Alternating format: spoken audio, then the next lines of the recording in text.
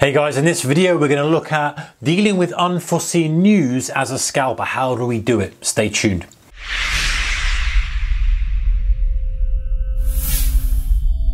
Hey guys, so following on from a scalping little mini course that we've got on the channel for you guys, had a raft of questions coming in. Keep them coming because I like to see how you guys have interpreted. Some of the things kind of make me think a little bit more. I put more content out there for you, and it's what it's all about, guys. We're all trying to improve together as traders. If you can learn from me, and I learn from you guys as well. That's the beauty of this channel. Okay, so a question came in from Andy Olson Moyano. Andy, cheers for your question. Appreciate it. And he said, unforeseen news risk.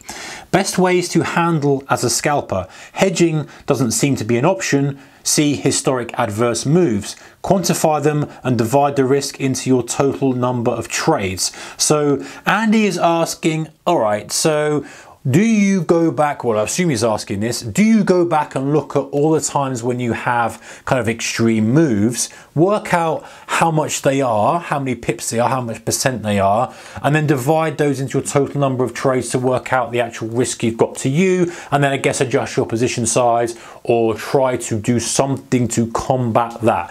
Um, and thanks, Andy, for that question. That's a kind of interesting take on it. So, really if we look at it broadly and we go right how do we deal with that? So do we go back and we say well we expect to have it. Now what one thing that a great kind of point that andy has made is he's not saying ignore it. He's accepting it and he wants to say okay well this is my idea on it. Is there any other ways of doing it? That's a that's a great start because many scalpers i feel ignore it. They go oh well you know there's no there's no kind of it's not going to happen to me. And that's okay to a certain extent because I've heard this argument before. Let me talk about the argument. The argument is I've got a 50% chance of it being for me or against me.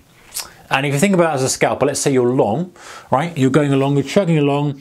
The chances of some hidden news coming out that goes up or down should be around 50%. And one thing that these scalpers will say as well is, well, I'm also going to align myself a little bit more with news that's uh, in my favor. So I'll, I'll only be trading long on something where we've had a lot of recent up spikes or I'll be trading short on something down spikes. And that makes a bit more sense to me. Because let's say you're trading in a downtrend environment. And let's say and you look at the historical news that his history let's say four out of five of the bigger spikes have been to the downside because there's a lot of negative sentiment a lot of negative news around whatever you're scalping then to align yourself on the short side makes better sense because you're aligning yourself with the likelihood of being of adverse news being negative and dragging the price low which is going to help your position rather than hinder it which is fine.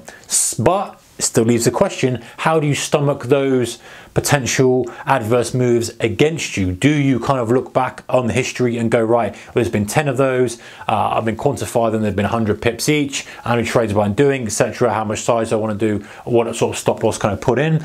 Or do you go right well it will work out in the wash. If i do enough of them then it'll be okay. Now that might sound seem a little bit blasé, but there's something to that, right?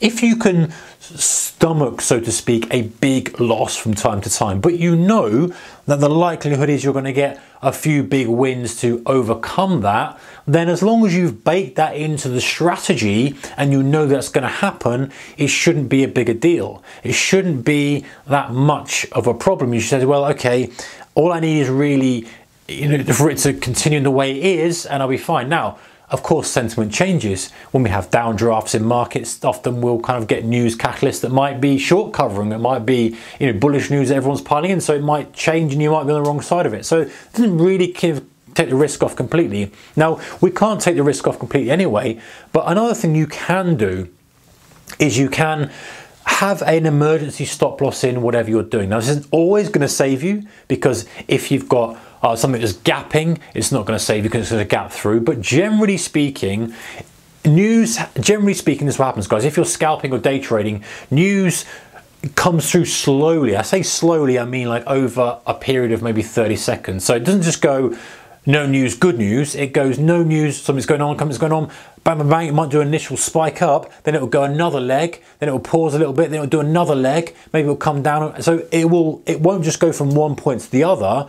Yes, there will be a, a kind of portion of that, but it won't just go to the stratosphere. So if you have something that can get you out on that first impulse, that's not going to be so damaging. From time to time, it's going to get you out when you didn't want to get out, but scalping is all about just being brutally, brutal with that stop loss, kind of cutting the loss, cutting the losers quickly. Uh, otherwise, you end up, if you give anything flexibility in scalping, it's got a negative expectancy, in my opinion. So having something that either puts a stop loss in automatically or you know you've got a stop that goes in or even having a stop loss in there and then scalping around your position and cancelling that later so that you've got some safety net. Yes, it's still going to hurt if you if it kind of rips up 30 ticks and you're looking for six uh, to the downside. It's going to sting, but it's not going to be like a 100 point face ripper. It's not going to be a 200 point face ripper.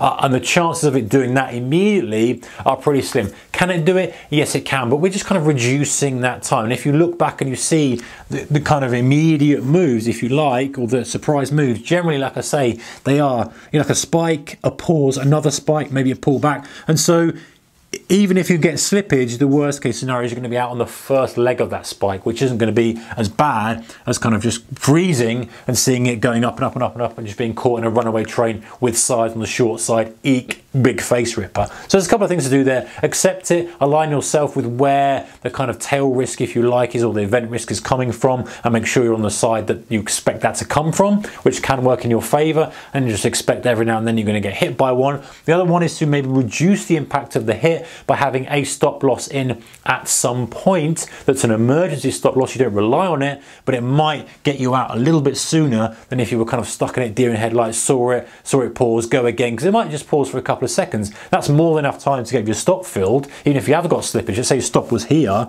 let's say that was the slippage, that's still okay. Um, but maybe if you're there watching it, you might pause too long and it goes again, another leg, another leg. So that's something to consider, or a bit of a hybrid of the two. Uh, or as Andy says, going back and kind of looking at history and working out, well, these are the X amount of moves I've had, this is the kind of move, magnitude of the move I'm expecting, uh, and working out from that and wrapping it and baking it into your trading strategy. Anyway, guys, dealing with unforeseen news as a scalper, appreciate the question. Take care. Bye bye.